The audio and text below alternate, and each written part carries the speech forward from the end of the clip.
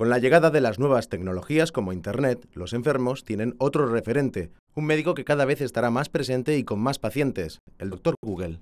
El doctor Google como tal no es un médico que tenga abierta una consulta con ese nombre, sino que se refiere al uso que hacemos de las nuevas tecnologías, concretamente de Google, pues cuando alguien tiene algún problema de salud. Se calcula que alrededor de un 50% de las personas en algún momento pues han buscado información sobre su salud en Google. Cuando alguien quiere buscar información en Internet, solo piensa en Google.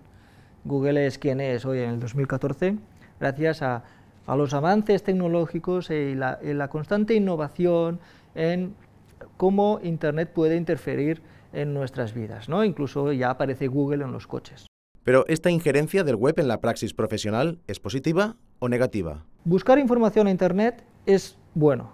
Que el paciente vaya a buscar información en Internet antes de la consulta al médico es bueno. El problema es el médico, que ahora mismo tiene que cambiar culturalmente para hacer frente a este nuevo paciente, paciente empoderado nos encontramos que el diálogo es un diálogo más científico, en que digamos que el médico tiene que oír lo que el paciente cree que, eh, tiene, o en caso de la familia, que su hijo tiene, y contrastar esta opinión con datos científicos. El doctor Google como tal no es ni bueno ni malo, lo que sí que es positivo o negativo es la actitud y el criterio que tenga la persona a la hora de ir a buscar información. Saber discriminar contenidos a la hora de consultar Internet, consultar webs oficiales de hospitales y organismos de salud, ¿Qué consejos debemos seguir a la hora de hacer una consulta al doctor Google? Las recomendaciones sería que buscase sitios de calidad, y entendemos sitios de calidad, pues sitios que estén o bien avalados porque son eh, sitios web de, organizaciones sanitarias que conocen en su vida real,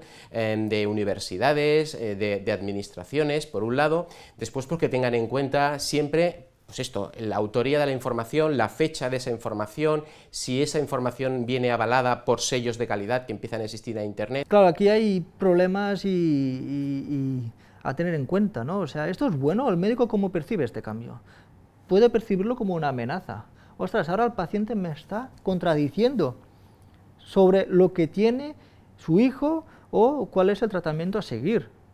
Y por otro lado, ostras, ahora el, paciente me obliga a actualizarme para que no me venga con algo que no, yo no haya leído aún y que está en Internet.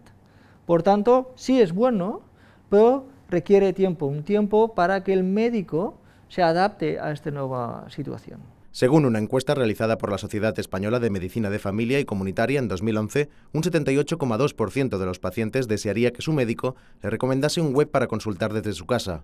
Este hecho significa más confianza en el profesional de la salud y un filtro informativo a la hora de visitar al Dr. Google.